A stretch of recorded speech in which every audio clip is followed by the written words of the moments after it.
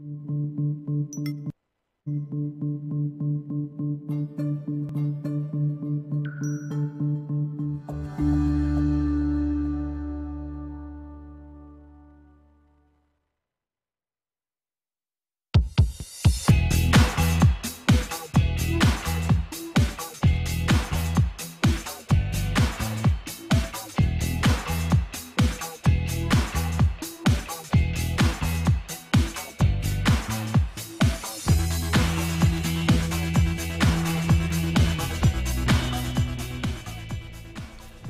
time of year when we're all talking about joy. Seems like you can't go anywhere without hearing a song about joy. But for millions of Americans, they don't feel joyful.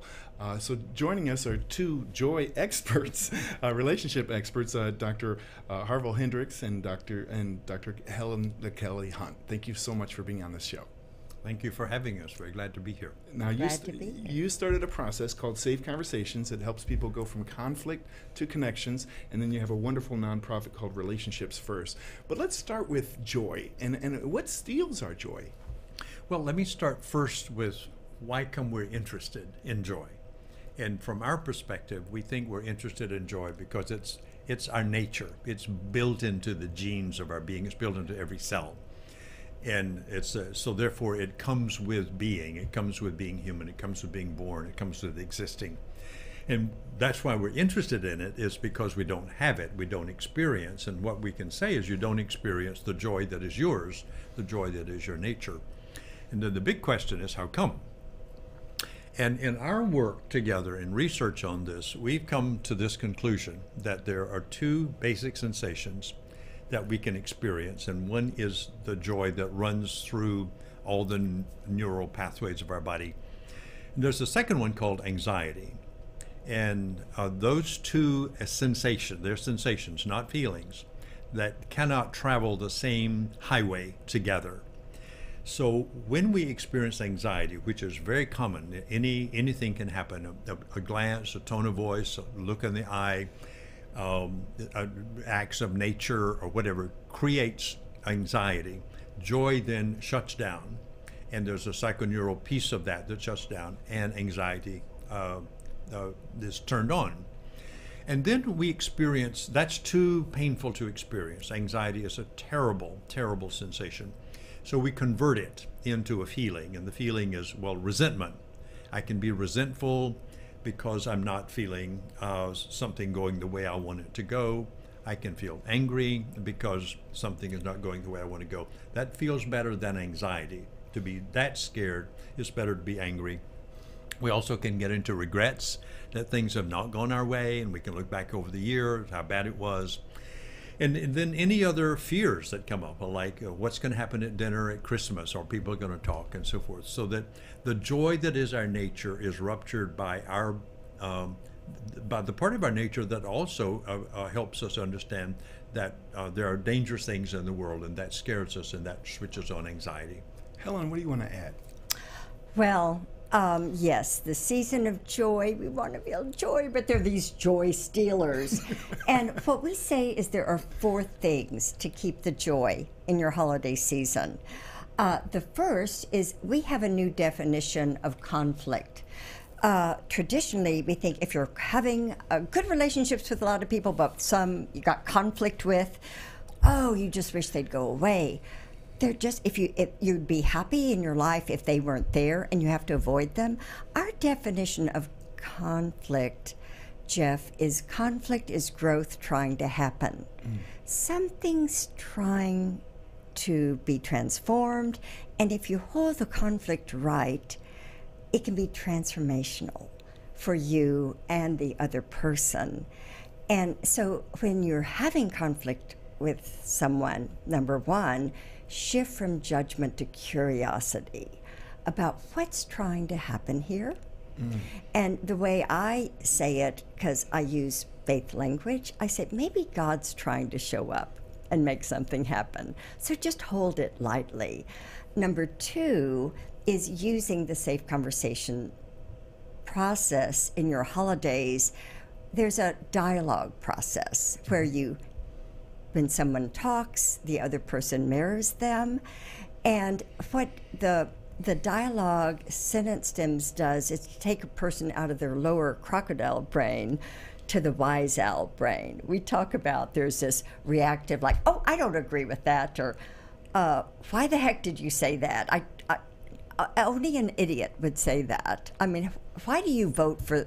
How could you possibly, you know, cast your, you know, for shame, blame, and criticism, and uh, shift from. Um, uh, the dialogue process helps you shift from the crocodile brain to the wise owl, where you mirror uh, the other person, and you you then it helps you go to the part of the brain where you collaborate, you cooperate, and you feel better. You release different neurochemicals, and it makes you a calmer person. And recently, we've never seen before the articles that have come out from the scientific community, Jeff, and we've known you a long time, and we've never seen articles like this. Mm. Having healthy conversation releases norepinephrine, acetylcholine. You don't get sick as Really? much, and you live longer. Yeah. The- It is now scientifically documented, and we'd love to send you those articles. Yes. You're going to be a happier, healthier person living a longer life. Number three is um, uh, taking a, what we call a zero negativity, negativity pledge. Zero negative. Well, that sounds scary, but what we say is uh, it's not what you say, it's how you say it.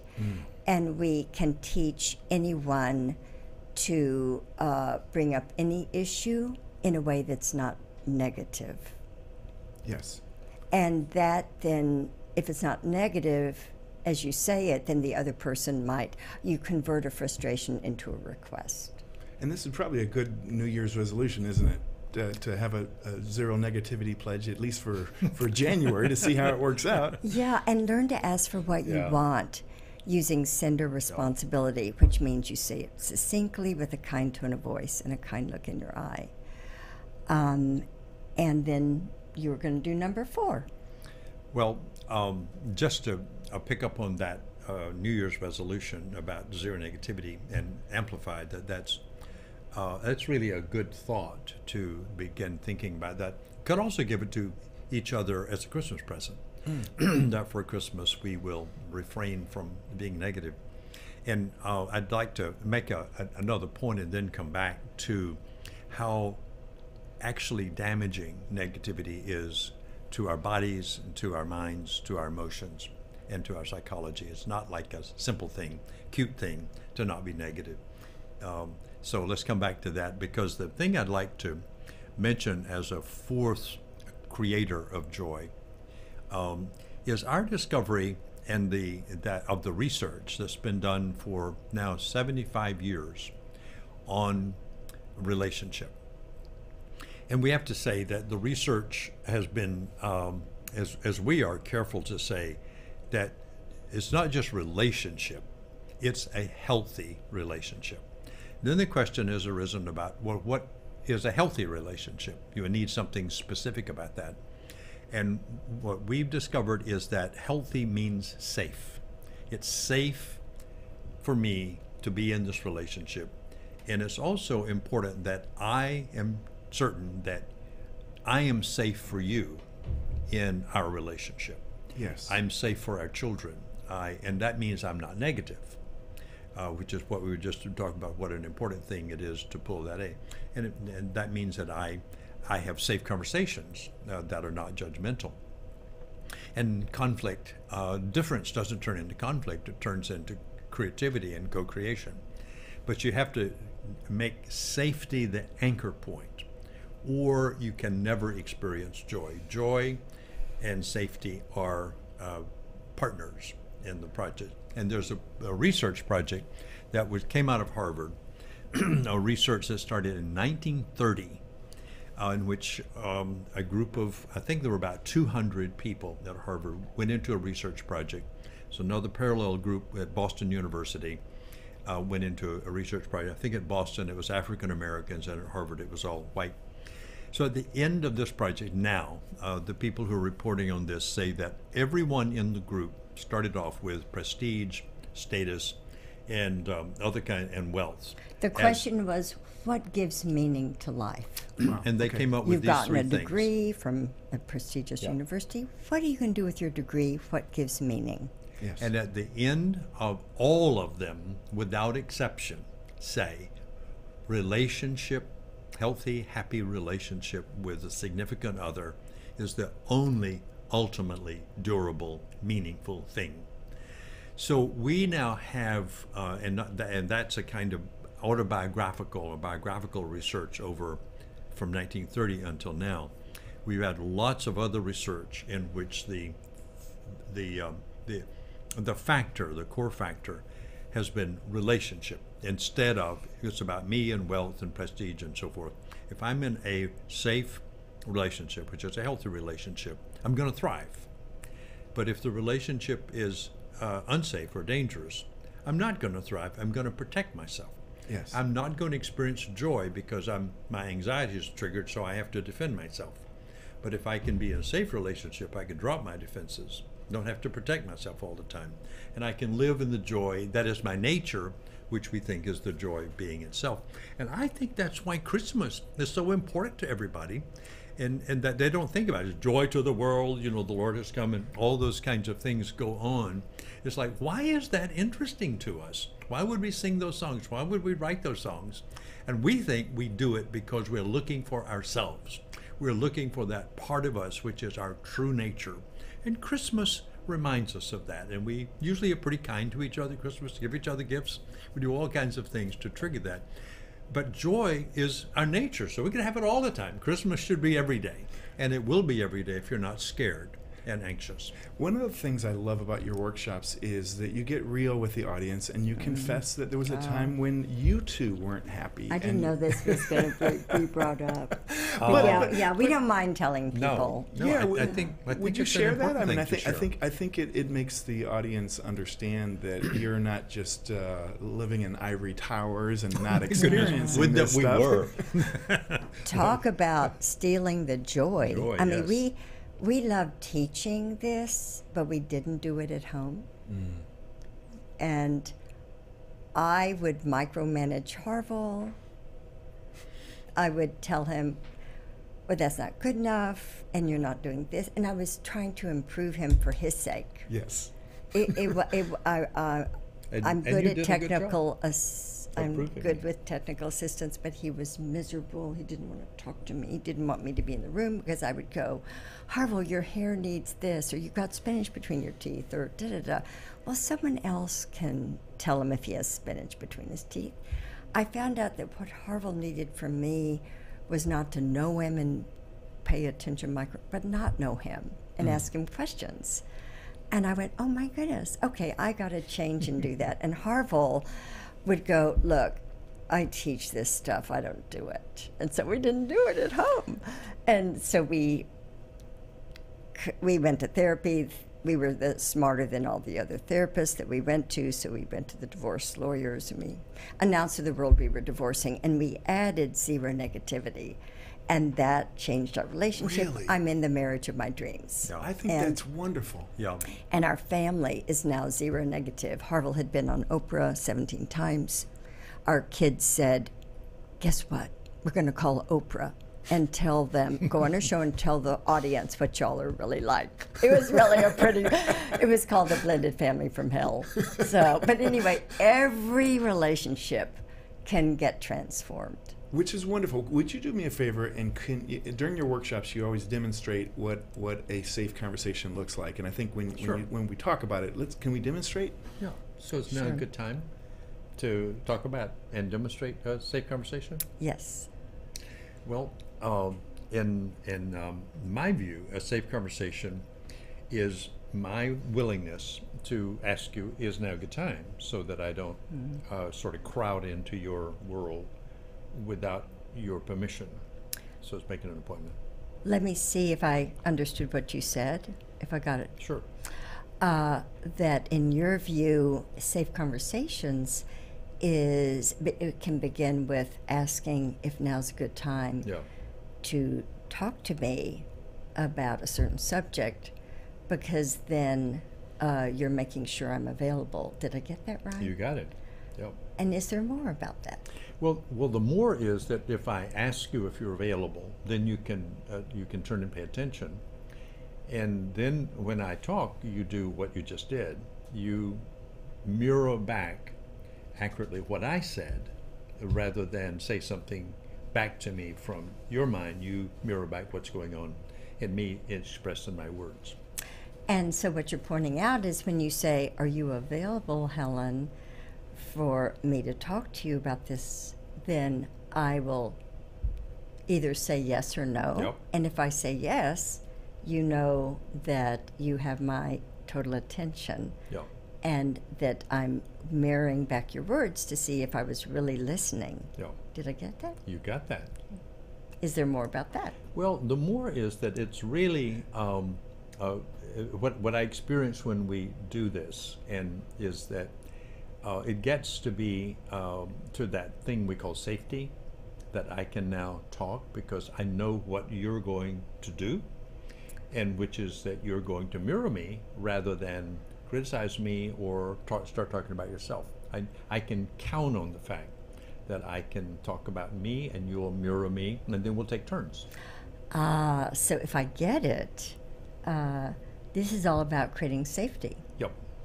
And that you can count on the fact that you're sending a message to me and I'm not going to start talking back because I've agreed to listen to you right now. Yep. And now you're feeling safer in my presence. Yeah, Am feel- I- Yeah, feeling safer, and the safety is that I actually can predict what you're going to do next, which is one of the uh-huh. things we've discovered is necessary for safety. It- that I know that you're going to mirror me rather than talk about yourself or make a comment about what I said. You're simply going to mirror me back, my words back, my thoughts back, and that and that makes it. that's what makes it safe. So, if I've got that, I would like you to know and Jeff Crowley to know I seldom hear you use that word predictability mm-hmm. when we talk. And that that's making so much sense. You can predict if I'm going to interrupt you or talk back at you. No, when I say I'm Yeah. available to listen to you, it makes me more predictable, and that increases the safety that you feel in my presence. Right. Am I getting know that you're gonna- right? I know you, if you said you're going to listen, I know that's what you're going to do, and you're going to mirror me back and not talk. So, Okay. uh, don't have anything else to say about that now. Well, uh, Jeff Creeley surprised us by asking us to do this demo, and is this But th- enough This was, of a? this was beautiful. This was Yeah, beautiful, and yeah. and, I'll, and I can vouch. Uh, I remember the first workshop I was at. It was a Valentine's workshop, and uh, you had just you were in the morning session, and uh, a, a young lady stood up with tears in her eyes, saying it was the first time she felt her husband had ever heard her. Yeah. Uh, and it's profound because I think so many times when when a couple is arguing, uh, there is no listening going on. It's just you're thinking about what you're going to say next. Right. Well, and the and the way we put it is that everybody's running their movie, and so you're running your movie, and so you tell me what's going on in your movie, and I just wait till you finish telling me what scene you're in, and then I tell you what scene I'm in, and that it and probably then can say my movie's better than yours. Or it's a clearer version of whatever's going on. So that's what produces that conflict we're talking about, which is totally unnecessary. Because if I listen to your movie, I get it. Your movie makes sense to you, but it's not my movie, and I don't have to judge it because it's not my movie. They're two movies, Yes. and they both make sense. And this is a, an amazing thing for all of us to get. Everybody in the world's different, and they're running their own movie, and all the movies make sense. That's really hard to believe, but it's true. And it's the only thing that can be because difference and diversity is also a part of nature. And if we accept that, then we don't have to go into trying to make it different Yes. and kill it. We can go into exploring it, honoring it, enjoying it. And then we experience a different kind of joy because that's, yeah. so I want to get into the zero negativity and why that's so important, Yeah. uh, Helen, because often when a couple is arguing, one or the other will take a cheap shot and they will say something that causes the other one to shut down, Yes. reminding them of something that happened 20 years ago. Uh, This is a common problem, isn't it? Yeah. Yep. It, it is. And then guess what? Sometimes the next morning you go, Oh, I'm so sorry. I, I, I didn't mean it. I mean, I shouldn't have said that. I shouldn't have said that in that way. And, and this is what living in the lower brain is like. Things pop out of your mouth that you don't even mean to say when you get mad enough. And and then the next morning you go oh i flipped my lid. I went out of my mind. I just sort of went crazy for a little bit. I didn't mean it. And this is why this is what it's like to live in the lower brain. We say uh, the neuroscientists call it the reptilian brain. Yes. it's reactive. It says things uh, uh, reactively. It can't help itself, and and your fir- and it thinks it. So your first thought is from the lower crocodile brain, but then if you use the sentence stems of dialogue, the sentences force you into the upper brain. You go, okay, now what am I supposed to say before I want to tell them what I really think? Yes. and it puts you in the upper brain, Mm-hmm. and then you mirror from the upper brain and then you're calmer. It's Mm-hmm. a it releases a completely different set of neurochemicals. The adrenaline and cortisone from the lower brain fight flight or freeze. Yes. but the acetylcholine the norepinephrine is about um, connecting and and joy and safety and wonder and oh look at the wonder of life and look at the awe around us. And if you want to live with joy and awe and wonder you live in the upper brain Yes, and one of the things that you did at the very beginning of that demonstration was very important. I want to uh, put an explanation point on it. Was you made an appointment to talk about it? Yes. I, I know for myself that often my wife will want to talk about something serious, but she'll make it, she'll she'll bring it up at the very end of the day when I'm Yes. tired and I'm Yeah. likely to say something I really don't Yeah. mean. uh, Yes. would I guess would be a better way to do it is when would be a good time to have a serious conversation or something. your Right. wife sounds like me Yeah. for 20 years in our marriage i would always the phone wasn't ringing the kids were asleep I had his undivided attention. Okay, Harville, here were the four things you did wrong today. I was like, bam! it's just that doesn't work. Yeah. So, um, what the reason that we do the appointment, uh, it, it is an appointment. Is it's um, it's honoring boundaries, and this is both important personally in a relationship. It's important globally. Whenever anybody crosses a boundary, you produce conflict. And so, if you don't want conflict, don't cross anybody's boundary. But you can say to them, May I cross your boundary? Yes. And then they will say, Well, I'll take down my rope or open my door, and you can come into my space. And now we can visit and exchange things. And it's that easy to do. But as Helen is saying, usually we're running from my needs or my uh, anxiety or something, running from the lower brain, and we're not using prefrontal cortex stuff. But we say to couples and to everybody, it's very simple. Just ask people, are you available to talk about a, a topic that I would like to talk with you about? And give them a chance to say, I'm available or I'm not available. Like, like you're uh, at night, uh, if your partner would say, Jeff, uh, empathically, I know you're really tired. Uh, but are you available for me to have five minutes of your time to tell you about something that happened today? And one, in sim- this is again predictability. Now you know that in five minutes, uh, you can say, I love you, and I'm, now we're going to do whatever we do before we go to sleep. But if she says, Can I talk? Your mind is not going to say, Well, she just needs five minutes. Your mind's going to say, She's going to talk for a long time. I'm tired. So, and then you're all disturbed about that. So, predictability, specificity, and boundaries make the relationship safe. And now, when it's safe, you know, everything can happen. When it's not safe, only defenses will happen.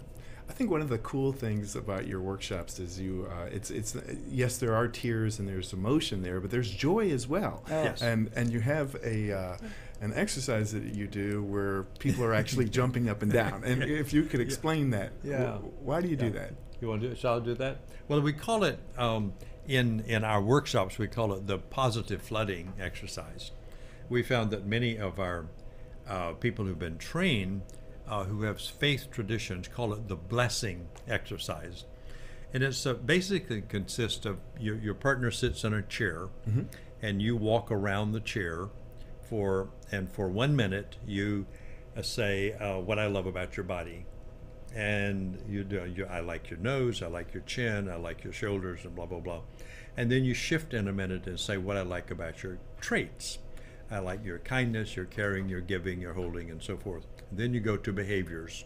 And the thing you did for me, that you took my dog to the vet, you brought me soup when I had a cold.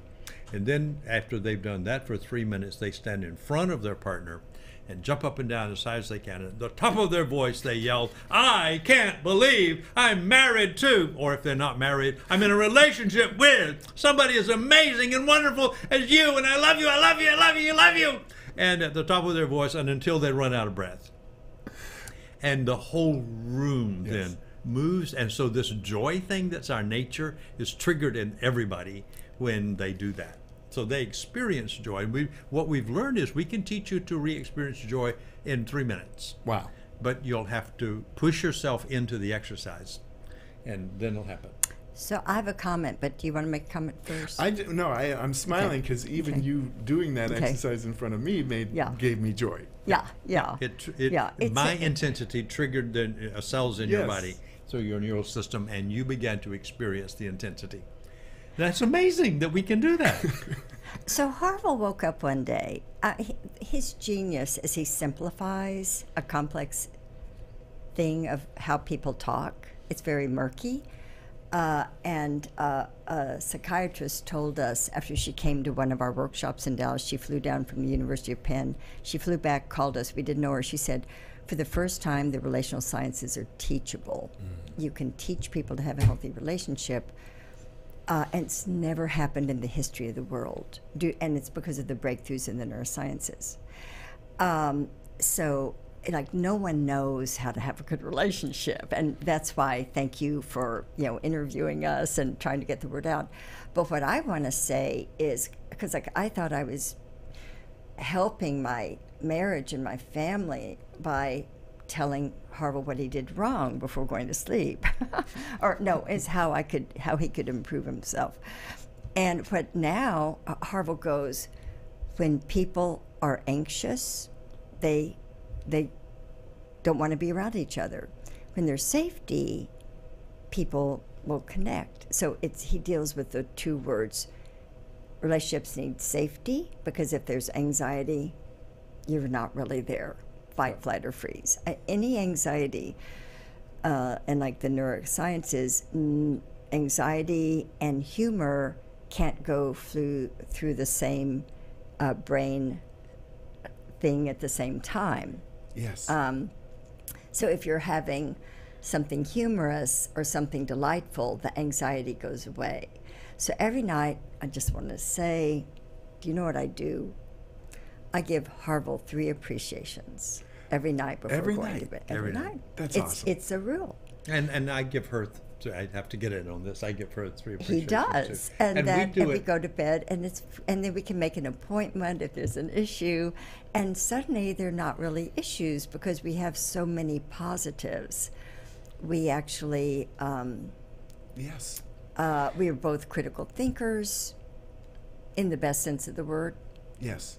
but we don't know how to have fun, and we realized we needed to bring fun into our relationship and into our family. We didn't know how. Yes. But we got Groucho Marx classes, we got joke books, we and we took and, and so oh so at the end of the year holidays we recommend that as you start your holiday dinner, everyone go around and give each other an appreciation. I think that's so powerful. And in, in the few minutes we have left, one, one of the things that really impressed me when we first started working together was you talked about all of the problems in society that we're spending billions and billions of dollars on is happening downstream when when really it's the upstream Yeah. that we should be looking at. Yeah, we should be looking upstream, uh, and and the thing we should be looking to do upstream is to help people connect safely, and we think the technology of safe conversation is one way to do that. And there's In fact, we are really have signed on to trying to teach this to the whole planet in what we are calling the project of creating a relational civilization. And we think a relational civilization is the next stage in human evolution because the stage we're in and have been in for the past uh, several thousand years has been about the self, about me. It's all about me. My relation to God, back before psychology came along, and psychology came along, is it's my relation to my inner world.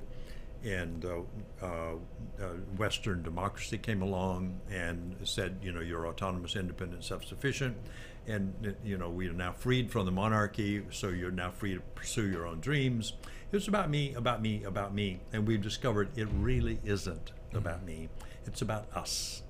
And when we realize we're in a context and we take care of the context, there's a paradox. It takes care of us. The other way doesn't work. If you take care of you at the expense of the context, then the context and you suffer the consequences of neglect. So we want to say Christmas is about recovering your being, your nature, your joy, but it's a communal thing, it's a relational thing. Joy is relational. You can't have it by yourself. Yes. You can only have it in relationship. And Helen, that's so important because as a society, we seem to be going more in the direction of self, self, self. Mm-hmm. You know, I mean, we take selfies. We're we, we're self-important. Mm-hmm. We do lose sight that mm-hmm. it's it's about us and not me, don't we? Yes, and the civic conversation right now is so polarized. Yes. So, um, what I, I think to summarize anything I would say is the importance of shifting um, a frustration into a wish, setting up time when the other person is available to handle any joy stealer, Yes. and and and help the person take little baby steps toward uh, what they can do to make the relationship better, um, and um, we that that whole thing of it's about us. Um, what you focus on is what you get Yeah. when you're thinking about other people. Um, That's so important. Yeah, and it's hard to keep that in mind, but if you do, it's a terrifying thought that what I'm getting, which I don't like, is what I've focused on, namely my criticism of you, and I'm getting feedback from you that I don't want because you were supposed to do better if I criticize you. But we constellate in other people the way they show up for us by the way we look at them. So I want to say one other thing about that, Helen, with regard to how that creates memories. And what we, we, we're all into memories and sentimentality, but the important thing is every second our brains are recording uh, how our how our partner or other people are responding to us, and then how in turn we respond. So memories are created by the way the, our input, and we then record the outcome. So we can decide what sort of feedback we want by the memories we create in other people's minds. And one of the ways to create those good memories is to say, you know, I like you. You're an amazing person. Thank you very much for that. Or, Yes. gosh, that was smart. Instead of, ah, not very good, uh, and do, do the put downs and so forth. The brain's going to remember whatever I do. And then when you come and see me next, your brain will s- look at me through those memories and anticipate that I will do it again. Wow. So we can control all that. And a last comment for anyone who's watching this and going, oh, I don't know if I can do- quite do this. Go, it's not what you say, it's how you, How you say, say it. it. Yes. You can bring up any of your issues with someone, but do it in a way which, in which it increases the likelihood that they'll listen and change. And that takes learning about safety, creating safety and but you don't sweep anything under the carpet, Jeff. Yes. You, you, you know, you have to be authentic in your relationship, and safe conversation teaches you how to be authentic in a way that your partner will listen, and, And- you'll have joy. And you have some um, amazing uh, events coming up early next year. How do people find out about them? Yeah. Well, uh, first of all, uh, go to the website relationshipsfirst.org to see all the things that we do there in terms of training and preparation. Um, but in January, we're going to do a webinar. You want to talk about that with Riane? Well, Actually? Riane Eisler is an iconic feminist Mm-hmm. Who wrote The Chalice and the Blade in the 1980s and about the matriarchy that existed before the patriarchy. And she's created a Center for Partnership Studies. Cool. Yeah. And she has wanted us to be on, so January 16th, I think. Yeah, and we'll teach her audience the safe conversation process. And then uh, we have workshops coming up uh, for couples. A place to go to find that is on that website. And then in uh, in March, we're going to do a global streaming event about March the 21st, and that'll be on the website as well. So if you want to know more about what is available, um, there's where to go relationshipsfirst.org. That's awesome. Well, I'd, I'd love to give uh, you both a chance to have uh kind of a final uh, word or thought for the audience. Oh, okay. You want to go first? No. I don't know what to say. Can you go first? Yes, I, I can go first um, and say with um, confidence that if you will um, ask people during Christmas if it's okay to talk now, uh, and if you will use um, curiosity rather than criticism, i.e., zero negativity, commitment, and make a practice of giving people appreciations just spontaneously. Gosh, I appreciate that. You you cleaned up the dishes, you cooked the dinner, you close the door, um, whatever. Uh, and the reason is it, it's a neurophysiological thing. The brain needs to know that it's safe. And when you're affirming the brain with an appreciation and there's no negativity, the brain then relaxes and it will then can activate that other neural pathway called joy. And you cannot have joy and negativity at the same time. Not even possible. So if you want a great Christmas, make it a safe Christmas. And then you can experience your true nature, which is joy. I love it. Helen, anything to add? Yeah. Um, I just think I would say to anyone listening don't ever give up, that it's never hopeless. Because Harville's in my relationship, it felt hopeless, and he agreed. It's just hopeless.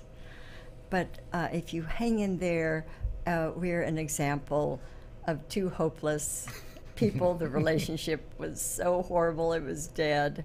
And it came back to life, and it's so joyful. And we're gonna, we are gonna have the most joyful holiday. Uh, and we just wish everyone in Dallas and in the Metroplex can have a joyful holiday too. Well, thank you so much. This has been an, an amazing show. Thank and, you. and thank you for sharing your secrets with the world because I think we all need to rediscover that joy. Mm. Thank you very much. Glad That's it for now. We'll see you next time.